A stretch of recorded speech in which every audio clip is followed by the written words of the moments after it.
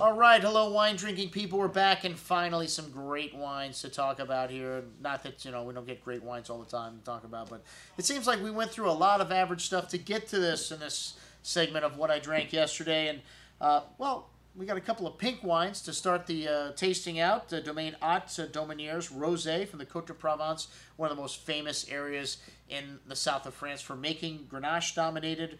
Um, rosés. This wine's about 60 something percent Grenache. Cinsault Syrah. This is the benchmark rosé producer down here. If you have a mega yacht, you have got Domaine Ott on it, but not the Domaines, the Cellar Clair Noir. They don't buy anything this cheap on a mega yacht, $18. But a nice little wine, some rose petals, strawberry fruit, some nice light minerality shown to the bouquet. And uh, this winery was founded in 1912 by Alsatian engineer Marcel Ott and uh, really nice light fruit on the palate here as well. Some mineral nuance and nice freshness showing on the finish. That rose petal at the very end. Very good stuff.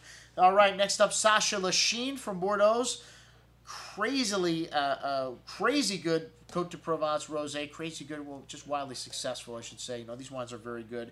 And uh, this was the Chateau d'Esclans. He does do a wine called Whispering Angels, which has, uh, you know, gotten to be such a big production that it's, uh, well, the quality's gone down a little bit on that wine, but still a very nice product. But the Chateau d'Esclans, I think some of the best rosés coming out of the Côte de Provence at $33, still not crazy expensive. Blend of Grenache, Cinsault, and Rolle, which is Vermentino and Syrah. Some light raspberry and strawberry-like fruit, hints of chalky mineral nuance here. Little hints of barnyard kind of note there, too. A little funkiness going on in there. We like that. Nice concentration on the tongue. nice tangy uh, acidity here. Ripe raspberry, red plum fruit and that chalky kind of minerality showing on the finish. Excellent rosé. All right, now on to the Burgundy. Domaine Faiveley. Well, there's two different labels here. Joseph Faiveley. Obviously, the domain is all domain bottled fruit, as it would indicate. Joseph is where they purchased some of the fruit for this. And a slight musky note to this Montagny, a little green apple and lemon citrus fruits. Good amount of terroir showing through in this wine on the nose. And uh, Erwan Faiveley took over in 2006 brought in a cellar master from Bouchard Père et Fils, and now they're making wines in a little more forward and seductive style. But this is typical for this 2009 vintage. Anyways, uh, lemon and green apple fruit showing on the tongue, a good amount of that minerality, a little slight salty note showing on the finish. Very good entry level Burgundy at 21.75.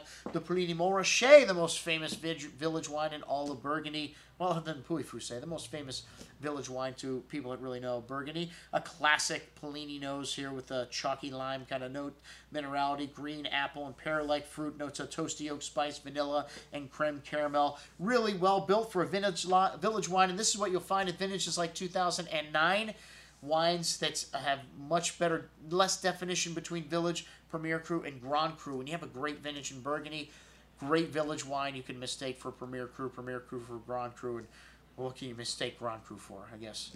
Uh, 2009, it's definitely a special vin vintage, though. As I mentioned, this Puligny well built and uh, really nice concentration, good minerality showing through on the finish. Puligny to me always needs a little bit more time. That lovely uh, acidity carrying the uh, freshness through. An excellent bottle of Puligny at $16 not 16 $60. Wow, I'm starting to lose some steam here at the end. Sorry, folks.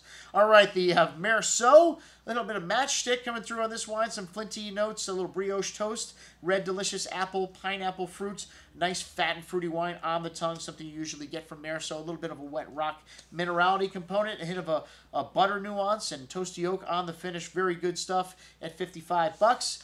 And then Nuits St. Georges here, a hint of smoke and kind of fresh earth truffle brown spice to that red cherry berry fruit. Nice amount of that spice and acidity showing on the finish keeping things fresh, but still, this 2009 vintage, all about its charming personality, all about its forward and seductive nature. Really drinkable wine, excellent juice at $57. The Gevrey Chambertin, one of the greatest village wines in Burgundy, had this lovely smoky bacon fat, kind of dried sausage note, a host of dark spices to complement that black cherry and raspberry fruit. Really nice complexity and concentration showing on the nose. A bit tart on the fruit on the palate, that black raspberry and a host of uh, dark spices and great length showing on the finish here. This wine just needs a little bit of time to come around, but it's got everything in proportion here. Very good stuff. And then the Chambolle Musigny Village wine, my favorite of the bunch. A touch of cola to this wine, a little fresh floral nuance as well to that red cherry berry fruit. Really pretty bouquet, really fine and elegant with nice uh, fine tannins, very silky on the tongue, and really nice freshness here at the finish. One of the things I love about Chambolle Musigny, it is a very pretty wine. Maybe some people think it's light, but not light in nuance and complexity. All right, very good stuff. Excellent juice. That's what I had to drink yesterday, folks. I'm your host, Andrew Lampasoni, signing off for the Wine Watch, saying remember, always drink the good stuff first.